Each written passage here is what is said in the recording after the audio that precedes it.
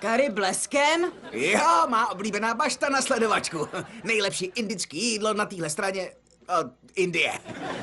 Počkej, jako by nestačilo, že nemůžu jet na dovču a sedím v téhletý dodávce. Ještě si objednáte indický jídlo? To bude jak sedět v obří kovový plíně. Dělají taky brokolici na kary? Ne. A i kdyby jo, tak ne.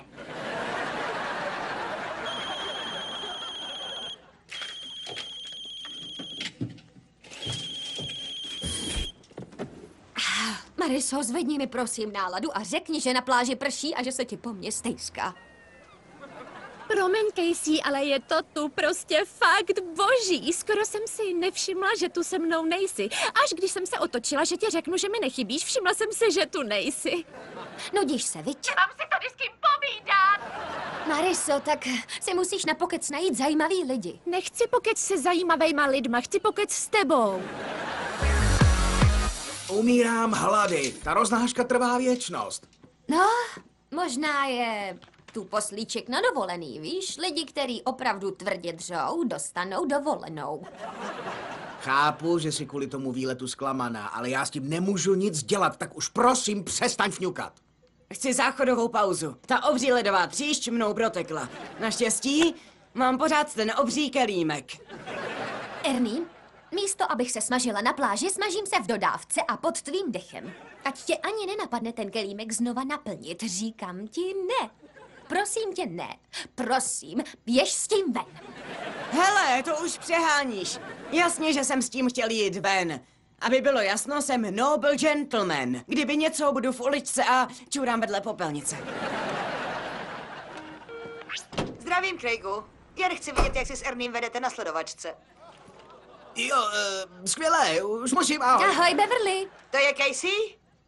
Překvapuje mě, že tě vidím. Myslela jsem, že jsi na pláži a mažeš se aspoň třicítkou, nastavuješ svou tvář slunci a usrkáváš koktejl od opáleného svalnatého číšníka jménem Bernardo.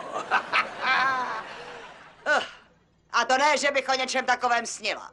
Divím se, že tě vidím.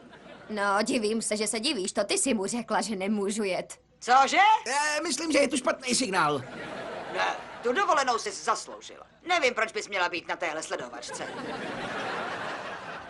Jak se to vypíná, kruci? Kde si zase fláká ten ajťák? Já nejsem jen ajťák.